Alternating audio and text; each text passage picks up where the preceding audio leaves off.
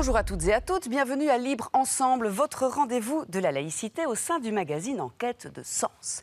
Il se passe une chose bizarre avec la démocratie. Tout le monde semble y aspirer, mais personne n'y croit plus. C'est en ces termes euh, que débute le livre de notre compatriote David Van Reybrouck contre les élections. Un grand paradoxe, effectivement, pour la démocratie aujourd'hui. Est-elle en danger? Est-elle malade? C'est la question que nous allons poser à nos invités que je rejoins sur ce plateau. J'ai le plaisir de recevoir aujourd'hui François Debras. Bonsoir, bonjour François. Bonjour. Vous êtes chargé euh, doctorant, assistant et maître de conférences au Centre d'études démocratie de l'ULG. Euh, à, vos côtés, euh, Jérémy Dodaigne. Bonjour. Bonjour Jérémy, vous êtes chargé de cours en sciences politiques à l'Université de Namur. Et enfin Walter Feltrin, bonjour Walter, chef d'entreprise et cofondateur d'Oxygène. alors pour placer peut-être le débat, quelques chiffres. à la sortie de la Seconde Guerre mondiale, le monde ne comptait que 12 démocraties, alors qu'aujourd'hui 117 pays sur 195 euh, sont des démocraties électives. Aujourd'hui, si la démocratie est en crise, Jérémy Dodaigne, euh, c'est à cause de quoi, pensez-vous? Quels sont les indicateurs? On semble adhérer à son idée, mais pas tellement à sa pratique, en tout cas sa pratique actuelle. Pourquoi?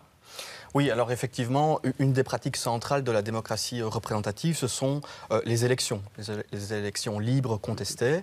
Et là, immanquablement, on voit effectivement, depuis ces dernières décennies, une diminution du taux de participation des citoyens euh, aux élections. Alors il y a toute une série des, élections qu'on peut analyser. Euh, peut-être au niveau européen, au niveau général, on le voit pour les élections européennes, par exemple tout pays confondu, on, observe à peine 40% de taux de participation. Euh, mais également pour les élections nationales, on voit une, relativement, faible participation. Par exemple, en, Grèce, à peine 40% euh, des électeurs se sont rendus euh, aux urnes. Et même dans les pays où le vote est obligatoire, par exemple la Belgique et le Luxembourg, on voit également une diminution du taux de participation. Alors, en Belgique, c'est plutôt depuis les années 2000, alors que cette diminution, s'observe depuis les années 80 euh, dans d'autres pays. Euh, on voit effectivement euh, un taux d'abstention, actuellement de 15%. donc, dans un pays où, où le vote est obligatoire, c'est important. Et si on tient même compte des votes blancs ou des votes nuls, on se rend compte en fait que seulement 75%, parfois même moins, s'expriment euh, pour élire euh, leurs représentants. Alors, euh, à cause de quoi? Est-ce que, est que, le citoyen est contre le politique ou la politique? Quelle est la différence en fait? C'est quoi cette perte de confiance? Alors, si on tient compte notamment d'un certain nombre de, scandales politiques en Belgique, ici, on le voit effectivement, il y, a de bonnes raisons d'être contre le fonctionnement de, la démocratie actuelle. les scandales, tout d'abord en région wallonne avec Publifine, on voit aussi le scandale en région bruxelloise avec euh, le SAMU social. Et euh, ça renforce l'image euh, répandue dans la population d'une classe politique en fait isolée, recluse sur elle-même et qui ne s'intéresse qu'à son bien-être, son bien-être économique, et qui ne s'intéresserait pas à l'ensemble finalement du bien commun, qui est la raison pour laquelle ces élus sont, sont sont désignés. Et finalement, le scandale qui ne concerne que réellement quelques-uns mhm. sur les, euh, il faut le rappeler, sur les dizaines, centaines euh, de mandataires, euh, jette l'opprobre en fait sur l'ensemble touche l'ensemble de la politique de nos élus. Alors un système politique, disent certains, c'est un équilibre entre deux critères fondamentaux efficacité et légitimité. François Debras, est-ce qu'on peut dire qu'il y a une crise de légitimité et d'efficacité ou plutôt l'une que l'autre? Alors on peut déjà voir l'efficacité en soi peut déjà être une forme euh, de légitimité. Si on veut euh, expliquer brièvement euh, ce que c'est, la légitimité, c'est d'abord avant tout une croyance, une croyance que les institutions sont les mieux à même de répondre aux besoins ou aux attentes ou aux demandes de la société. Alors l'efficacité, bien sûr, est une forme de légitimité puisqu'elle peut se présenter sous deux formes. Par exemple, lorsque des citoyens ont des, revendications, ont des demandes, ils les amènent sur la scène politique, elle peut être reprise par les médias, etc. Et les institutions politiques, les partis politiques ou les euh, chefs de parti, différents acteurs, peuvent l'entendre ou ne pas l'entendre. Mhm. S'ils ne l'entendent pas, on a déjà une perte de légitimité, c'est-à-dire qu'on a l'impression qu'on n'est pas écouté, qu'on n'est pas entendu. Après, dans un autre sens, du haut plutôt vers le bas, euh, les décideurs politiques peuvent entendre les volontés citoyennes, les demandes mhm. citoyennes, mais peuvent ne pas arriver à les mettre en pratique, peuvent être mis à mal dans la mise en place de politiques publiques. Et aujourd'hui, on se rend compte que il y a un manque de légitimité qui peut être présent dans les deux niveaux. Et en, Belgique, euh, on s'en rend très bien compte. Il y a une multiplication aujourd'hui des niveaux de pouvoir, une multiplication des instances euh, décisionnelles. Aujourd'hui, il n'y a pas qu'un Parlement national qui décide. Il y a également des commissions, il y a des conseils, il y a des comités, il y a tout un ensemble d'organismes, et alors sur différents niveaux aussi. On a le niveau local, en Belgique, on a le niveau communautaire, le niveau régional, le niveau fédéral, le niveau européen également. Puis alors, après, euh, certains diront qu'il y a aussi le niveau l'ONU, l'OTAN, etc. Ça, fait beaucoup, beaucoup, beaucoup trop de choses. Donc c'est la faute plutôt, vous êtes en train de nous dire, euh, au système politique finalement dans, sa globalité C'est pas ça que je dis. Mais ce que je dis, ce, qu'on peut voir à travers cette multiplication des instances, c'est qu'aujourd'hui, un politicien seul ne peut plus décider et changer fondamentalement le système. Il faut qu'il soit, euh, qu'il se concerte avec d'autres niveaux de pouvoir, avec d'autres décideurs politiques, et qu'ensemble, ils, ils, élaborent des projets communs c'est possible qu'un décideur politique national ait une politique en totale euh, opposition avec une politique, mhm. par exemple, européenne. On l'a vu avec le cas en Grèce, par exemple, sur euh, différents débats qu'il y a eu, euh, etc. Et là, on se rend compte qu'il y a non seulement une technicité de plus en plus importante mhm. et une incompréhension des citoyens sur où aujourd'hui est le pouvoir, qui décide aujourd'hui, qui est le plus proche pour influencer sur ma vie de tous les jours. Et là, évidemment, il y a un manque de légitimité qui est dû à une perte d'efficacité, on ne peut plus agir tout seul, mhm. et une perte de représentation. Qui me dirige aujourd'hui? Alors, euh, Jérémy Dodeigne, est-ce que Walter euh, Feltra, vous vouliez dire quelque chose? Oui, je, voulais rebondir sur euh, le terme efficacité. Mhm. Je pense que c'est extrêmement important. pourquoi? Parce que je pense que les, citoyens attendent vraiment des hommes politiques des solutions à leur situation concrète de tous les jours. Et de plus en plus, et presque dans tous les domaines, aujourd'hui, la réponse des hommes politiques, des dirigeants politiques, n'est plus à la hauteur. Alors on peut se poser beaucoup de questions sur le pourquoi et le comment. Alors la complexité des institutions, certainement, y joue un rôle. Mais je pense aussi qu'il y a que c'est aussi dû au système particratique, notamment, qui fait que ben, tout est bétonné et que finalement, plus rien d'original, d'efficace ne peut sortir de, cette situation. Et je pense que c'est vraiment là en tout cas à, mes yeux, c'est là où se trouve la, la, raison principale de cette démotivation générale par rapport et, même plus que ça, parfois c'est du dégoût, c'est du euh, par rapport aux, hommes politiques. Raison pour laquelle vous avez créé, mais on en reparlera là dans quelques instants, le, parti euh, Oxygène. Jérémy Dodeng, justement, puisqu'on parlait de parti, mhm. est-ce que la démocratie, c'est forcément la gauche et la droite, ou est-ce que c'est fini Il faut dépasser cette confrontation, parce que Chantal Mouffe, qui est de la philosophe, qui inspire beaucoup euh, Hamon et Mélenchon en ce moment, me dit-elle que justement il y a un conflit nécessaire dans la démocratie oui, absolument. La démocratie, c'est la compétition, la compétition d'idées, euh, avoir des, choix de société qui s'offrent aux citoyens, euh, des choix qui peuvent être radicalement différents dans certains cas, des choix qui peuvent être plus convergents. Et, et sans doute qu'une partie du problème, qu'une partie du problème de cette crise de la démocratie vient justement de cette capacité du système à produire euh, finalement une série de politiques publiques qui rencontrent euh, les besoins des, citoyens. On a parlé en partie de, cette mission et de cette, importance d'efficacité. Si l'on revient sur la crise économique, euh, et financière qui a, frappé l'Europe euh, depuis 2009, finalement, il y a eu, il y a eu une sorte d'hégémonie euh, en termes de solutions proposées, hein, donc euh, les politiques d'austérité. Et même si on voit un certain nombre de nouvelles forces politiques qui émergent, on peut penser par exemple à, la France insoumise mm-hmm. en France, Podemos en, en, Espagne, ou même le PTB en, région wallonne, qui, qui propose vraiment un projet radicalement différent. Pour l'instant, euh, l'implémentation et l'expérimentation finalement euh, de ces idées différentes euh, ne voient pas encore le jour. Et d'une certaine manière, le, cas portugais, on en a beaucoup parlé mhm. cette semaine dans les médias, est un petit peu une exception, puisque il n'applique pas directement, le gouvernement portugais n'applique pas directement les politiques et les recommandations européennes en la matière, et malgré tout arrive à offrir une autre vision de société.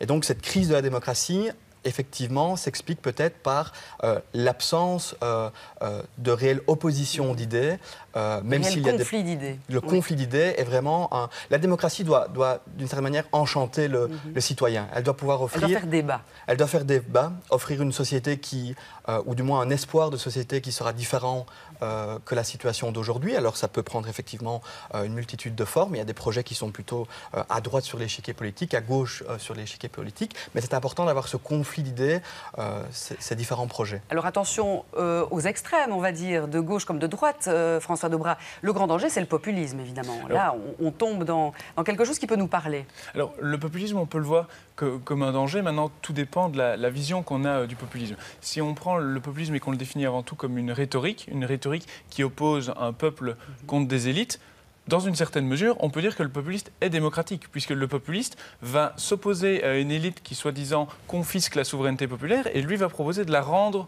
aux citoyens. Maintenant, tout, tout l'enjeu, c'est de savoir comment euh, cette rhétorique est mobilisée, parce que le populisme, si c'est une rhétorique, ça peut être de gauche et de droite, d'extrême gauche et d'extrême droite. Le populisme ne renvoie pas systématiquement euh, à l'extrême droite.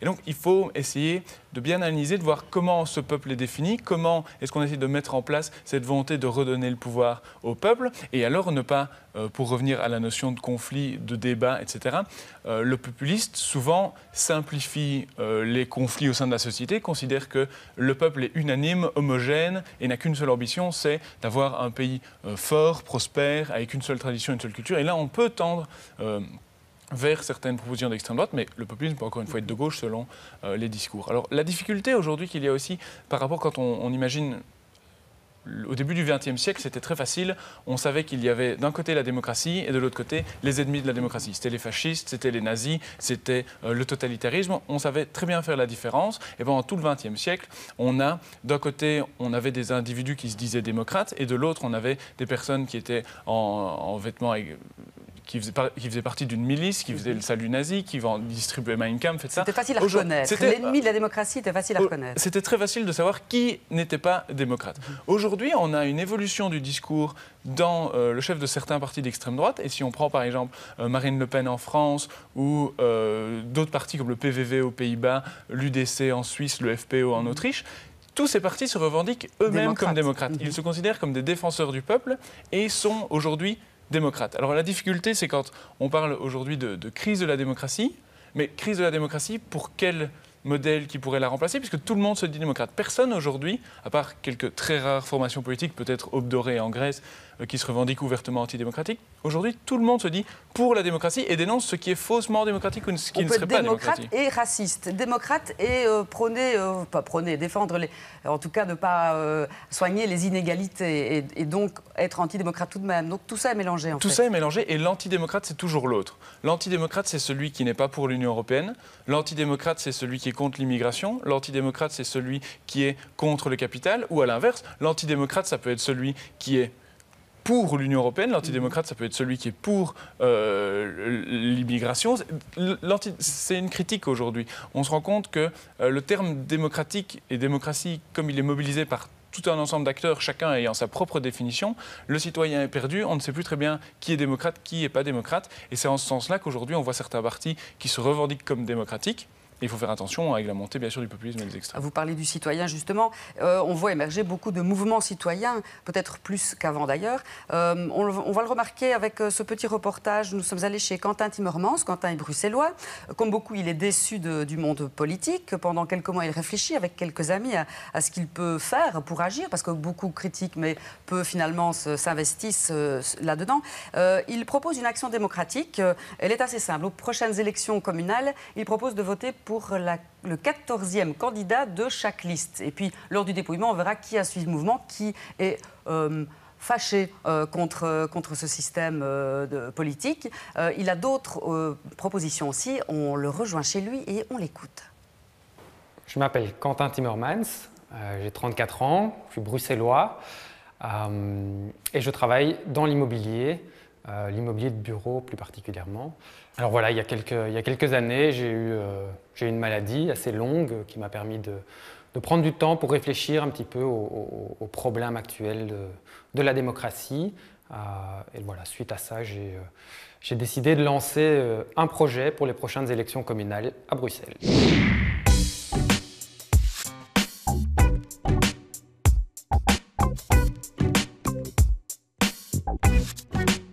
L'idée était de, créer un moyen de pression sur le monde politique euh, qui pourrait être mis en œuvre assez simplement, qui ne demande pas trop d'investissement de la part des citoyens, parce que je pense que c'est aussi un des problèmes généralement, c'est que beaucoup de gens sont mécontents. D'un autre côté, ils sont pas spécialement prêts à investir du temps dans une, cause. Et, euh, donc, voilà, l'idée était de, développer un projet qui réponde un petit peu à tous ces critères. C'est euh, de venir introduire dans ce monde politique des citoyens ou des gens qui ne sont pas issus des partis politiques, mais qui exerceraient euh, une fonction.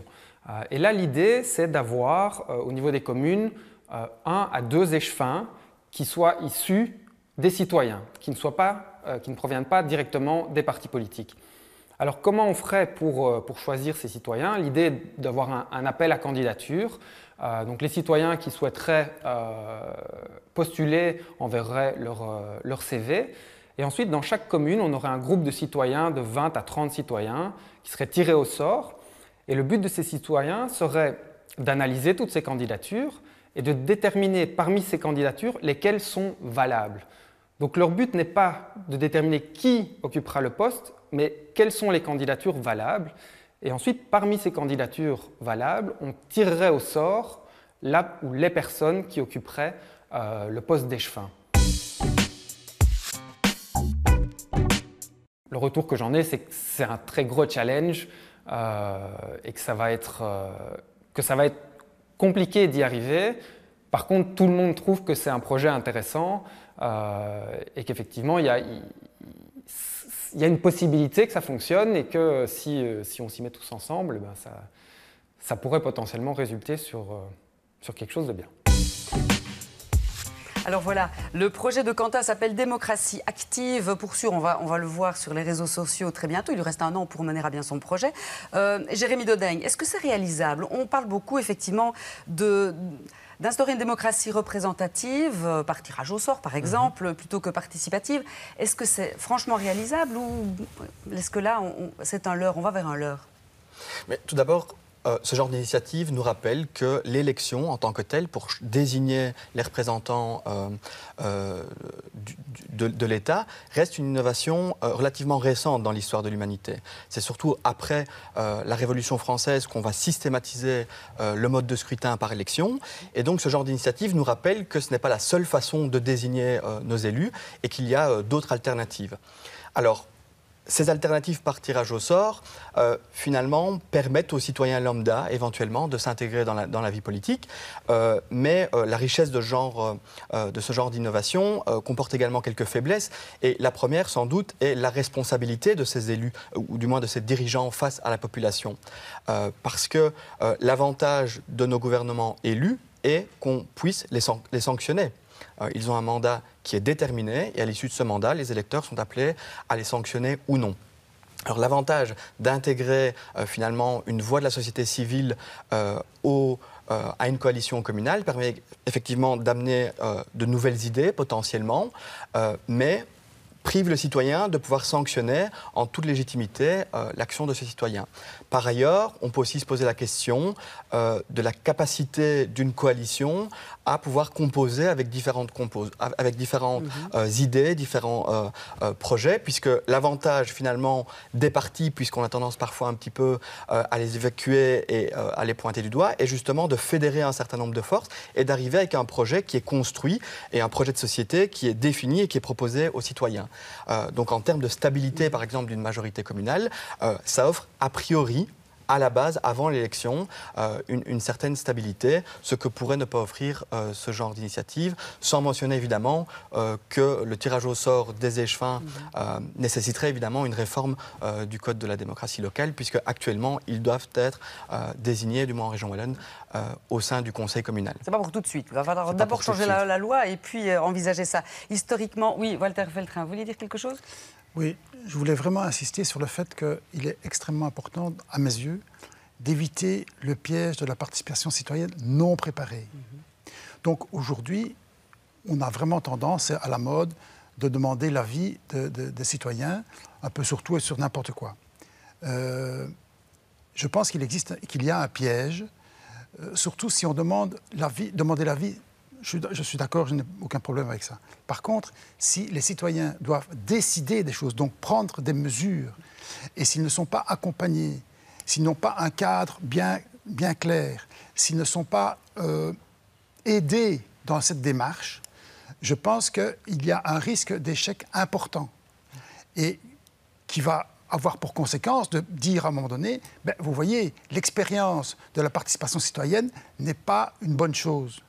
Et donc, après, ça, donne la porte ouverte, ou ça, ça ouvre la porte à plein d'autres situations, et notamment à une remise en cause plus fondamentale de la démocratie. Aujourd'hui, enfin, vous savez tous, euh, on parle de plus en plus, non pas d'une gestion par des élus, mais d'une gestion par des experts. Hein. donc, il y a, je pense que c'est un grand danger. Alors, autant je suis contre, le, ou en tout cas a priori, en tout cas sans préparation, euh, une participation citoyenne pour prendre des décisions, autant je suis vraiment pour, et je crois que c'est très très important, que les citoyens aient le moyen de contrôler l'exécutif. C'est très différent.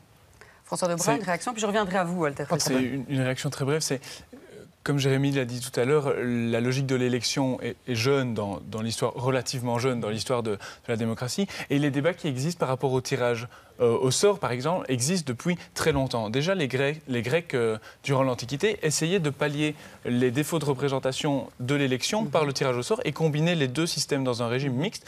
Et il y avait énormément de débats euh, à l'époque, avec la fameuse critique de Platon et d'Aristote, qui disait déjà on ne tire pas au sort un architecte ou on ne tire pas au sort un joueur de flûte, il faut quelqu'un qui ait de l'expérience, qui ait des connaissances et qui soit instruit dans le domaine pour lequel euh, il va être nommé. Alors, les Grecs à l'époque, ils répondaient euh, par deux critères. C'était un, on tirait au sort parmi les citoyens, enfin, mhm. déjà être citoyen, donc un certain nombre de critères très spécifiques. Il fallait connaître également le poste pour lequel on allait être nommé. Mhm. Et alors, il y avait une responsabilité également qui, était, qui pouvait être portée devant les tribunaux si on ne remplissait pas euh, correctement sa euh, fonction, avec aussi la logique que contrairement à ce qu'on entend euh, aujourd'hui, les Grecs tiraient au sort parmi des gens qui étaient volontaires, ce qui empêchait justement mhm. une personne d'être tirée au sort pour une fonction qu'il ne connaissait même pas, qu'il ne savait pas, qu'il n'avait aucune idée que ça existait. Et alors, il y avait une logique aussi un peu de, casser euh, les individus qui voulaient juste se présenter pour avoir un mandat, c'était les impératifs qui étaient euh, portés. La personne pouvait être portée devant un tribunal si elle ne remplissait pas euh, clairement les objectifs qui lui étaient donnés. il y avait tout un suivi qui était mis sur le long terme. Donc il ne faut pas croire que les, les citoyens grecs étaient tiré au sort parmi n'importe qui et qui pouvait faire n'importe quoi. C'était très limité et très euh, encadré. On, parle effectivement aujourd'hui, euh, pour, euh, prendre l'exemple, de démocratie d'élevage contre la démocratie sauvage. Démocratie d'élevage, ce serait changer le système de l'intérieur et sauvage bah, de l'extérieur, en faisant appel notamment au tirage au sort. Mais Walter Feltrin, vous, évidemment, ce serait plutôt la démocratie d'élevage. Vous voulez changer le système de l'intérieur puisque vous avez créé, vous êtes cofondateur avec votre épouse, Barbara Dufour, voilà, merci du parti Oxygène. Alors, il faut quand même oser inventer une autre force politique aujourd'hui. Comment vous est venue l'idée et comment allez-vous réaliser cela? Bah, Disons que c'est un long cheminement euh, et c'est l'aboutissement d'une constatation où on, ne fait rien. Euh, compte tenu de la situation, euh, moralement, on estime, Barbara et moi, qu'on on ne peut pas ne rien faire. Et donc, euh, on a eu une, expérience euh, d'entrée dans, un parti traditionnel qui n'a qui pas été très concluante. Et donc, par rapport à ça, qu'est-ce qu'on a comme autre solution? Euh, Rien ou créer un parti politique. Parce que c'est quand même au niveau politique que les choses se décident. Hein, donc, vous êtes chef d'entreprise, c'est vrai qu'on parle beaucoup de cela aujourd'hui aussi. Est-ce que la politique va être euh, donnée aux mains de, managers? Bon, euh, est-ce que vous le voyez comme ça, vous? Est-ce que vous voyez la politique comme une forme d'entreprise, de, finalement? Quelles, sont vos, vos, vos, lignes de conduite? Une transition écologique, les droits, les droits de l'homme euh, Quatre, quatre, quatre grandes pistes. L'équité, l'éthique, euh, l'évaluation Euh, j'en oublie une. elles, sont, elles sont forcément dans l'alternative, en fait. Voilà, je voulais aussi présenter votre livre. Euh, alternative, ni PTB, ni Front National. C'est une sorte de, de, de, pré-programme, en fait, que vous avez euh, écrit en collaboration avec votre épouse, Barbara Dufour, justement. La, quatrième, c'est l'efficacité, bien entendu.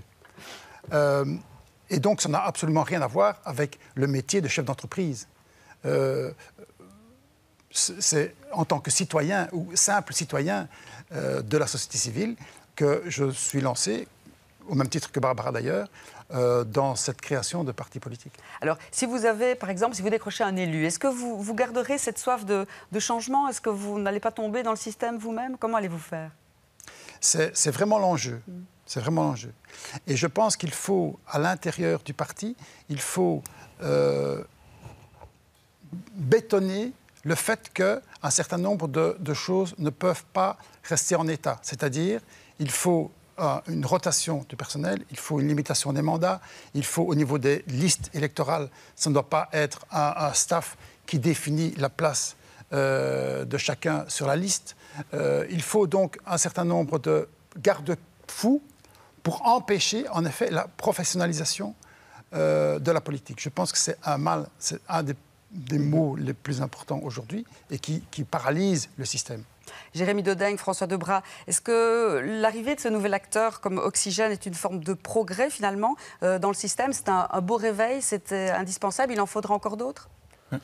Qui va prendre la parole? En tous les cas, ce que je trouve euh, intéressant, c'est de, pour répondre à cette crise de la démocratie, c'est d'être euh, de rester lucide sur le fait que le système peut se renouveler en partie. On voit qu'il y a toute une série d'initiatives, on n'a pas eu l'occasion d'en discuter, mais euh, euh, en termes de, renouveau politique, en termes de, euh, de quotas de genre pour, pour les élections, mais également, effectivement, ça ne suffit pas, on le sait, et donc on peut également prendre des composantes, comme on a discuté tout à l'heure, en termes de tirage au sort, et sans doute que la solution se trouve entre finalement cette démocratie d'élevage et démocratie sauvage, une combinaison puisque chacun euh, des modèles a ses qualités, mais souffre également de plusieurs défauts. François Debras, presque le mot de la fin, il nous reste une minute là, de, ce débat.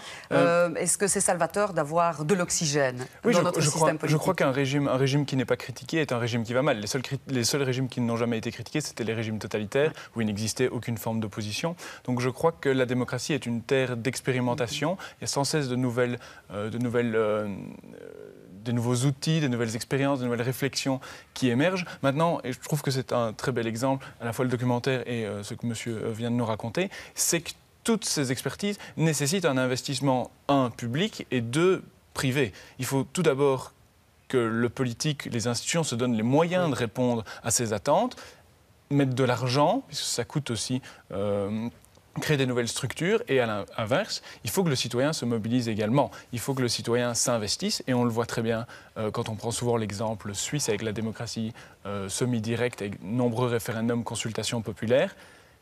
Toutes les semaines, après, en rentrant du boulot, le citoyen a une pile de dossiers à lire, a quantité d'informations à magasiner, et donc ça prend du temps, ça prend de l'investissement. Et tout le monde, il faut, je crois qu'il faut quitter l'illusion aussi que tout le monde peut réagir à tout tout le temps. Ça vaut la peine d'y croire, en fait, et de se lancer. C'est déjà la fin de notre débat, mais on en reparlera évidemment, puisque, comme disait Aristote, l'homme est un animal politique. Vite vous dire que euh, ce mois-ci, dans Espace des libertés, il y a un bel entretien de Salman Rushdie. Et puis, ça pourrait nous intéresser, lanceur d'alerte, l'ultime sursaut démocratique. Merci à vous trois d'avoir euh, euh, accepté de faire partie de ce débat. Et on vous donne rendez-vous la semaine prochaine pour un autre débat sur la laïcité. Merci à vous de nous avoir suivis.